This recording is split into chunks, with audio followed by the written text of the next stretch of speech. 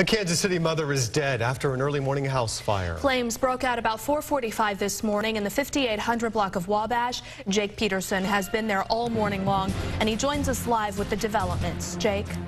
Hey, good morning to you. You won't see any fire trucks out here because they're all gone. They're out there doing their investigation. The firefighters are. And you won't see much damage on the front of the house. It's that brick house in the middle of the street.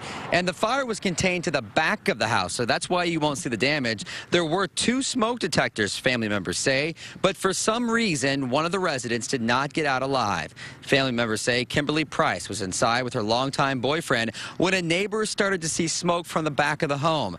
Price's boyfriend escaped from a back window, but firefighters found Price near the doorway.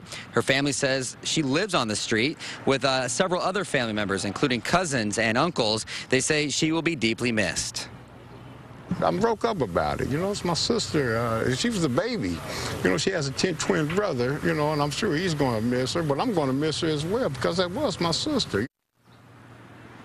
And Price does have a 16-year-old child who fortunately was not at home during the fire. Investigators are still trying to determine the cause of the blaze. We're live in Kansas City. Jake Peterson, 41 Action News.